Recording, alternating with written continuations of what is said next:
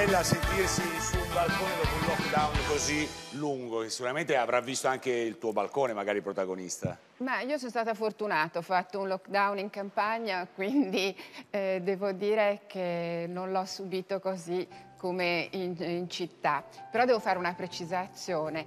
Sicuramente io sono la più vecchia dal punto no, di vista No, ma io lo sapevo che lo stavi per dire. Per me sei nel mio eh, cuore, novella. No, lo so che Federica Pellegrini... la più grande di eh. tutti i tempi, anzi secondo me anche la più grande atleta italiana è Federica Pellegrini. Che noi salutiamo, ma avremmo parlato di Federica perché chiaramente Sì, è una straordinaria no, non campionessa. farlo, chiaramente. Però per, per noi sei la campionessa nei nostri cuori, novella ci sei tu. Lo so infatti- che ti può sembrare strano ora detto così, ma è la verità. Sei nel cuore degli italiani, come abbiamo detto, non potevamo non cominciare eh, questa puntata dedicata ai campioni con una grande donna come te, che soprattutto ha un grande primato, perché sei stata tu a vincere appunto la, la prima medaglia in una Olimpiade, soprattutto nel nuoto, nel- nelle famose Olimpiadi di Monaco eh, nel 1972. Volevamo subito sapere che ricordi hai, anche perché purtroppo quella Olimpiade è ricordata anche per un eh, terribile eh, evento che si parla appunto di, di terrorismo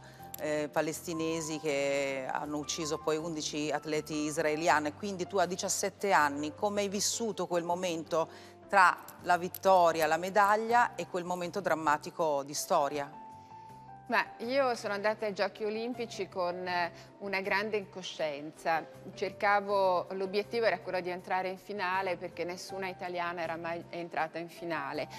Invece alla prima gara eh, ho fatto subito medaglia d'argento, sono salita così, è stato un po' uno shock. Poi da quello, eh, siccome nei 400 stile libero, poi avevo eh, gli 800 stile libero a termine del programma natatorio e allora il mio allenatore disse no, ti cala l'attenzione, ti mettiamo anche un 400 misti in mezzo. E feci 400 misti giusto per non calare e arrivai terza. Ma guarda un e po'. poi arrivai al bronzo anche negli 800 stile libero, quindi cioè, fu un- un'apoteosi dal punto di vista dei risultati per quanto mi riguardava. Ma mh, diciamo che eh, l'atmosfera era assolutamente serena, noi non ci siamo resi conto di nulla se non terminate le gare proprio perché eh, io avevo vinto le medaglie, potevamo, potevo rimanere. All'epoca il villaggio eh, femminile era separato da quello maschile, addirittura c'era una divisione con controllo agli ingressi. Come sono cambiati i tempi, Sì, vero? Per pensando. fortuna. Eh beh, direi Non lo anche perché questa separare cosa, i eh. villaggi... Per fortuna. E invece le palazzine eh, delle nazioni erano in ordine alfabetico, Ah. quindi l'Italia era accanto ad Israele. Ad Israele, certo. E io eh, avevo avuto il permesso insieme alla mia compagna eh, di stanza, che poi è stata, che è anche una delle mie migliori amiche da sempre, che è Chicca Stabilini, avevamo eh, la possibilità di rimanere perché volevo andare a vedere l'atletica. E, e quindi andammo alla palazzina eh, dell'Italia per prendere i biglietti per andare alla- all'atletica.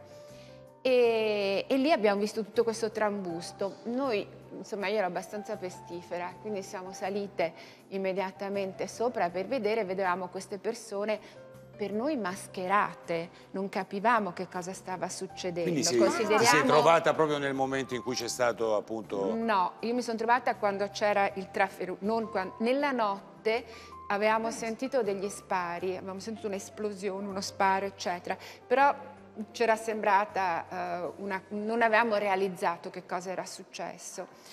E, e niente, quando siamo arrivati su, siccome c'erano tutti i giornalisti sotto, io col citofono facevo praticamente, davo le informazioni dicendo sta uscendo questo, sta uscendo quell'altro, ma io non mi rendevo conto di che cosa stava succedendo. A un certo punto arrivarono due energumeni in, eh, che erano evidentemente dei servizi segreti in borghese che ci sollevarono di peso, ci portarono giù e da lì ci dissero fate subito le valigie e andate via. Andammo a fare le valigie molto arrabbiate perché diciamo come ci avevate promesso di andare al- all'atletica, invece no. E tornando incontrammo una nostra amica israeliana che era fidanzata con un allenatore eh, israeliano del canottaggio e, mm, e lei era dispera, piangeva disperatamente. E io sono andata per avvicinarmi al chiedo, immediatamente sono stata mandata via e non capivo anche quello è rimasto, dice forse si è sentita male, forse non capivamo che Quando cosa siete riusciti a capire cosa Quando siamo successo? arrivati in Italia. Quando siamo arrivati in Italia ci hanno imbarcato subito e quando siamo arrivati in Italia tutti ci facevano domande, scesi dall'aereo, su questo aspetto e noi non sapevamo cosa rispondere. Senti, sempre riferito a quelle Olimpiadi straordinarie per te, Mark Spitz, che insomma, è il nuotatore Sapevo. americano che proprio in quelle Olimpiadi ha vinto ben sette ori, dichiara alla stampa che la grande rivelazione in realtà di quelle Olimpiadi era proprio Novella Caligaris. Ora non so se fosse attratto dalla tua bellezza oppure solo esclusivamente tua, dal tuo straordinario talento. Magari era innamorato proprio. Eh, magari era innamorato Beh, qualche Spitz. indiscrezione non è, non è un segreto che con Mark abbiamo avuto una, uh, un fidanzamento, tra ah, virgolette, che era... Vedi? Che era diciamo come allora, quindi era molto epistolare, molto fatto, eh, decisamente diverso dai tempi attuali. Beh, anche adesso comunque anni. si scrivono e si vedono poco, quindi cioè, è sempre sì. epistolare in un, un certo Vabbè, senso. Era, ah, quindi avete molto, avuto un Sì, tant'è vero che lui avevamo un appuntamento, lui a un certo punto mi mandò un biglietto dicendomi guarda devo ripartire. E, e si guarda questo, mannaggia. Sentiamo i nostri amici collegati, abbiamo due campioni collegati che sono appunto Margherita Grambassi e Patrizio Oliva. Ciao eh, Margherita, ciao Patrizio. Sicuramente vi conoscete, certo. ovviamente, perché tra ciao, campioni... Ma eh, appunto Margherita diceva che eh, sta facendo fare nuoto a sua figlia. Margherita, che dici? Potrebbe diventare una campionessa come la nostra novella? La Pellegrini. Guarda, sarebbe, sarebbe, bellissimo che diventasse una campionessa in qualunque cosa scegliesse, scegliesse, di fare. Certo il nuoto è uno sport fantastico, ma devo dire la verità che il mio intento non è, non è esattamente quello, insomma è un po', è un po piccina ancora.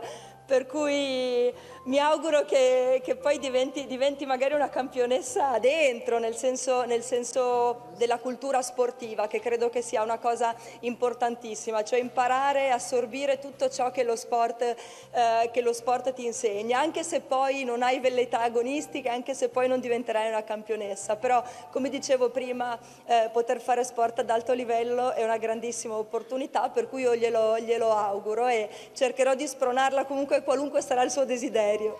A che età hai cominciato? Io credo che l'importante da trasmettere, da trasmettere ai nostri figli è far capire che non è importante essere forza campione, che devi vincere la medaglia o la coppa.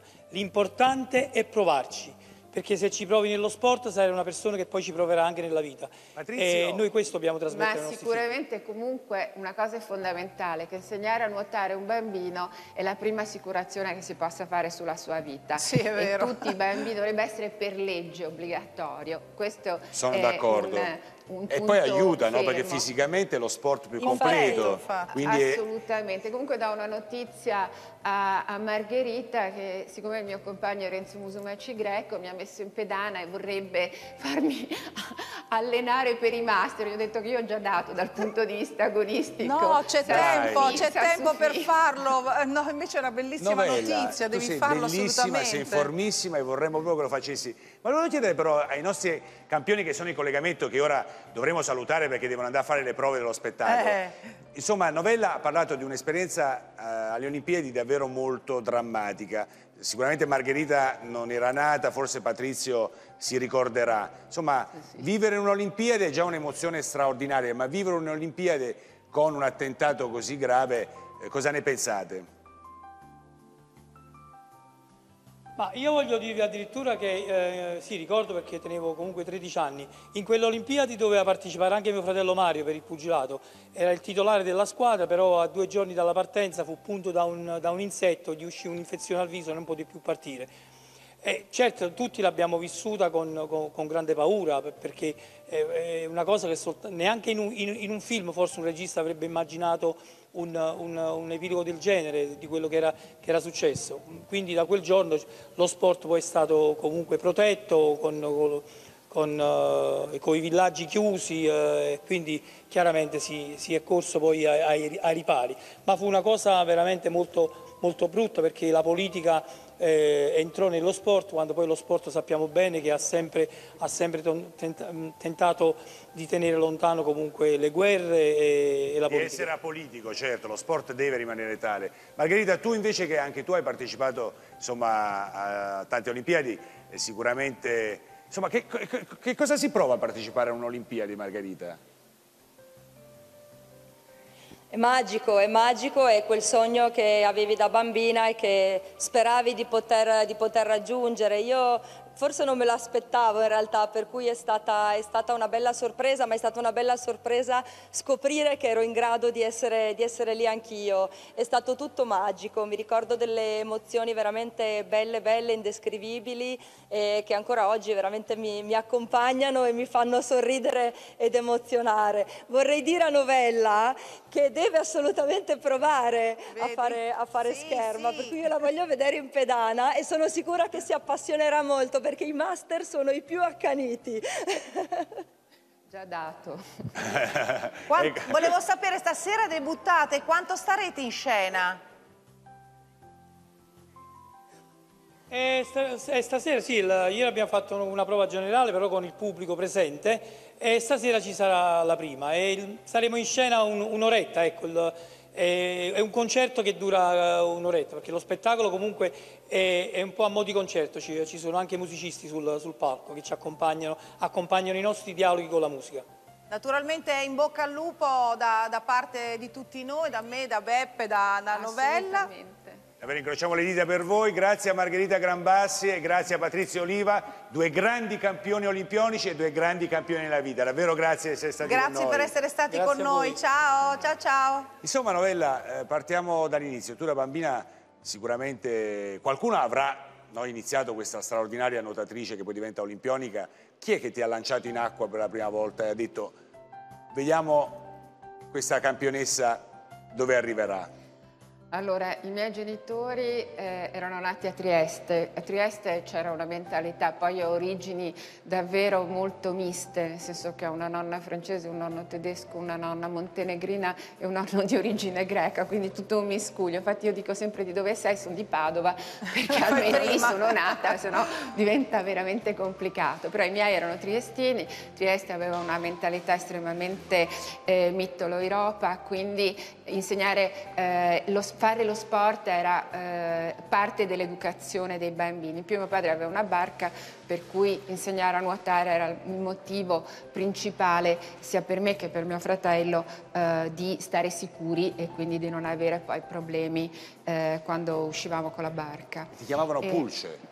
Mio padre mi chiamava Pulce perché io sono sempre stata minuta e quindi là in mezzo ero, mentre mio fratello era alto 1,90 m, io ero piccola, infatti c'era anche sempre la battuta che faceva mio fratello che mi innaffiava i piedi sperando che crescessi, no? c'era sempre questa gag eh, familiare. Per cui poi io devo dire che sono stata fortunatissima perché sono nata a Padova dove eh, c'era un, un, amico di famiglia eh, che era Ivone Grassetto, l'impresa Grassetto, eh, che è stato uno dei grandi mecenati, allora c'erano i mecenati nello sport e nel 1960 regalò alla città di Padova un centro sportivo all'avanguardia con la vasca da 50 metri, la vasca 25, avevamo la clubhouse.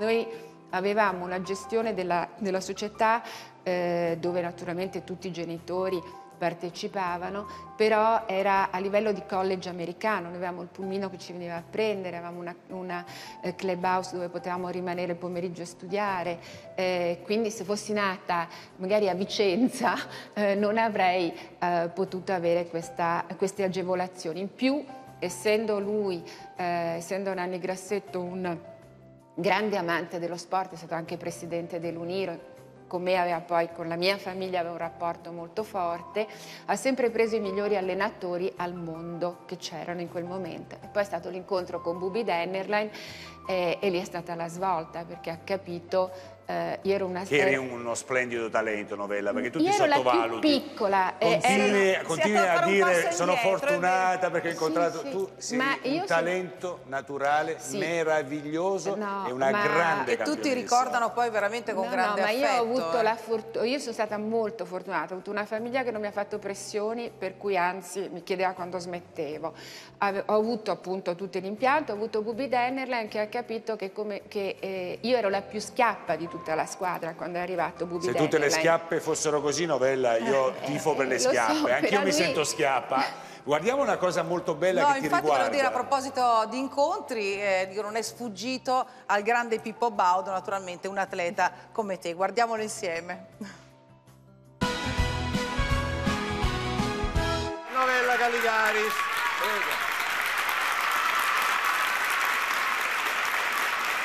Novella Caligaris. Noi, noi vi vogliamo, noi vi vogliamo molto bene, eh? ringraziamo la Federazione Nuoto, Pallanuoto, Tuffi, insomma, per il vostro intervento. Perché veramente questo è un invito a tutti quanti i giovani, ragazzi, a frequentare le, le discipline sportive perché fanno bene, vero? sviluppano, fanno bei muscoli. Io non ho fatto sport e mi sono ridotto così e si vede, insomma, è chiaro. Novella Caligari, siete- a quanti anni hai iniziato a nuotare? A 5 anni. Cinque anni. Eh, cinque anni già nuotava lei. Che poi io, io do del lei perché lei è commendatore, no? No, cavaliere ufficiale. Cavaliere ufficiale, cavaliere ufficiale. La prima Olimpiade cavaliere ufficiale, poi commendatore ma faranno re, regina, che la faranno? Allora, impegni prossimi, campionati, cose, che cosa farà? Eh, l'anno prossimo. L'anno prossimo e a scuola ovviamente, che cosa frequenta? Quinto liceo scientifico. Quinto liceo scientifico. Il nostro grazie a tutti voi. Grazie, grazie. Grazie.